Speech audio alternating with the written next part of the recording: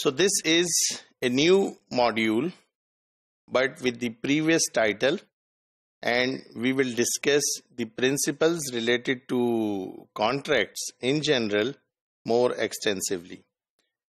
So conditions required for contract in the context of prohibition of riba कि जब हम किसी कॉन्ट्रैक्ट को देखते हैं कि जनरल प्रिंसिपल इस्लाम उसके बारे में क्या डिफाइन कर रहा है तो उसमें एक प्रिंसिपल इम्पोर्टेंट ये है कि उस कॉन्ट्रैक्ट में रिबा का एलिमेंट मौजूद ना हो, सूद का आंसर मौजूद ना हो।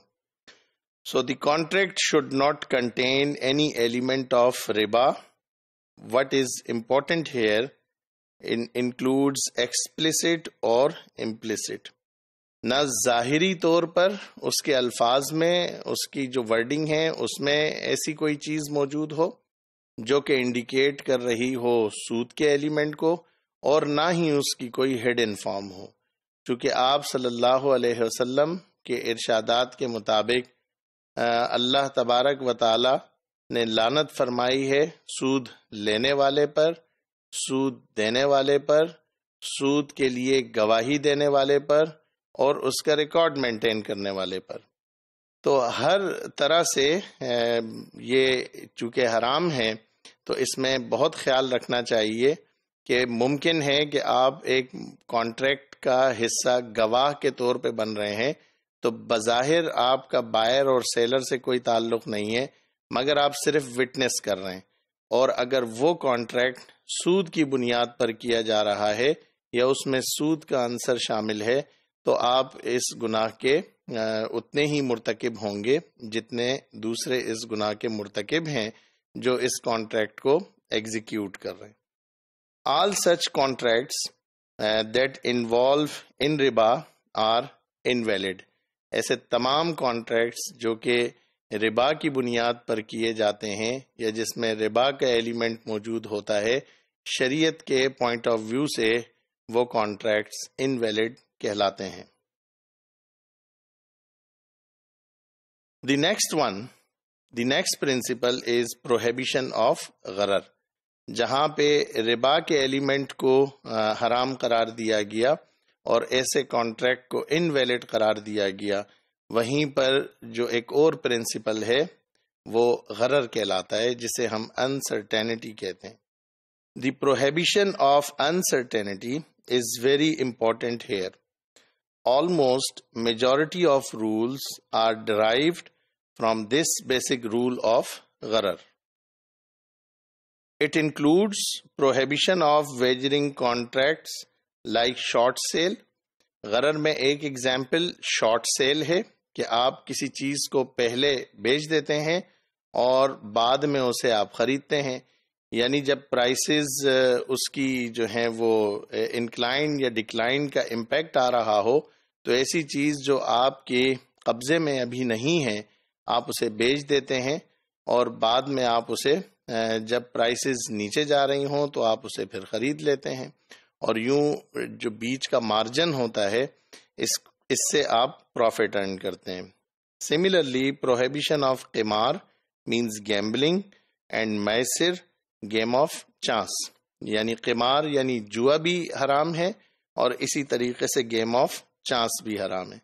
गेम ऑफ़ चांस का मतलब ये कि मुमकिन है कि आपको प्रॉफिट हो, और ये भी मुमकिन है कि आपका प्रिंसिपल अमाउंट डूब जाए। या गेम ऑफ़ चांस का मतलब ये है कि अगर प्रॉफिट है तो वो भी अनकैलकुलेटेड है, और लॉस है तो वो भी अनकैलकुलेटेड है। यानी किसी चीज़ पर मुमकिन है दस रुपए प्रॉफिट हो और मुमकिन है सौ रुपए प्रॉफिट हो और मुमकिन है दो सौ या पाँच सौ भी हो तो ये गेम ऑफ़ चांस होता है।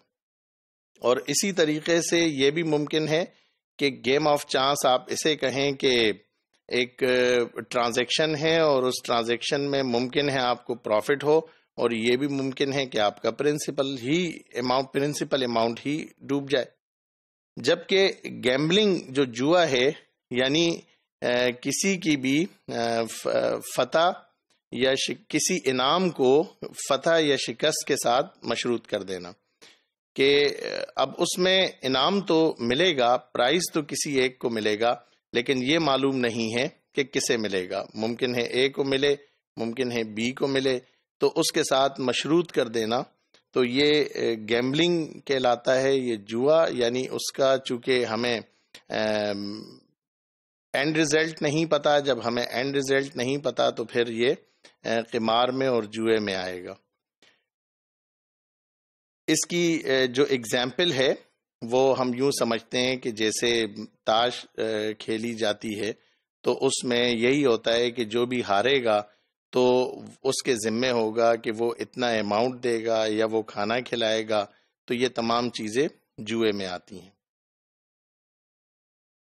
It also includes prohibition of fraud and deception कि आप जितनी धोखा दही के ज़रिए कोई चीज़ बेचें या किसी के साथ धोखा करें फ्रॉड करें, ये भी गरर में आता है।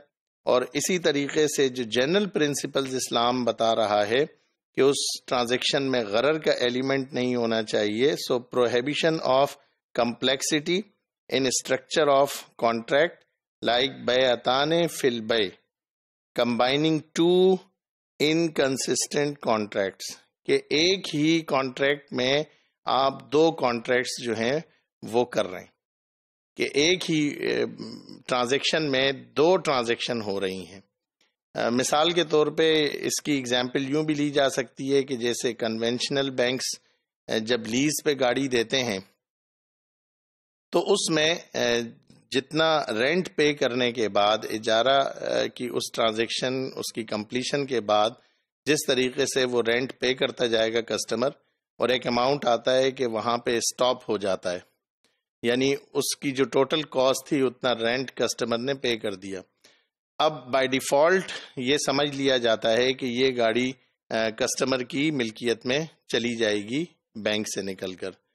ये दो मुख्तलिफ़ कॉन्ट्रैक्ट्स यहाँ पे होने चाहिए थे और वो तमाम कॉन्ट्रैक्ट्स अपने वक्त आने पर मेच्योर होने चाहिए थे। जबकि दूसरी तरफ़ हम इस्लामिक बैंकिंग सिस्टम में अगर इसी इजारे को देखते हैं तो यहाँ पर दो से तीन कॉन्ट्रैक्ट्स होते हैं जो कि अलग अलग साइन किए जाते हैं और अपने अपने वक्त आने पर वो मेच्योर होते हैं। यानी जब गाड़ी की क्राई जो उसकी प्राइस है, जब वो कंप्लीट हो जाएगी तो उसके बाद ऑप्शन होगा बायर को भी कि वो गाड़ी खरीदे या ना खरीदे और सेलर को भी कि वो गाड़ी बेचे या ना बेचे।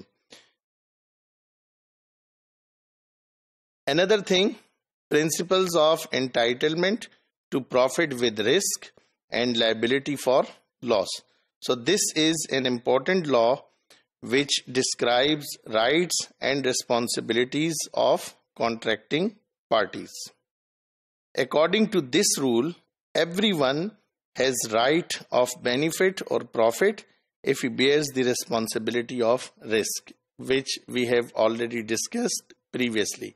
कि if a person is ready to face the loss so he can uh, he will share in the profit as well.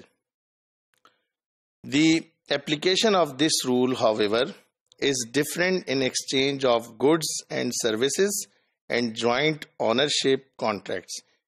यानी ये डिपेंड करता है कि पार्टनरशिप अगर है तो प्रॉफिट लॉस के प्रिंसिपल्स अलग हैं। पार्टनरशिप में फिर कौन सी पार्टनरशिप है, इसको देखा जाएगा। अगर जस्ट एक ट्रांजैक्शन है सेल परचेज की तो उसके प्रिंसिपल्स डिफरेंट हैं। और अगर ज्वाइंट बिज़नेस है तो उसके प्रिंसिपल्स भी यकीनन डिफरेंट होंगे।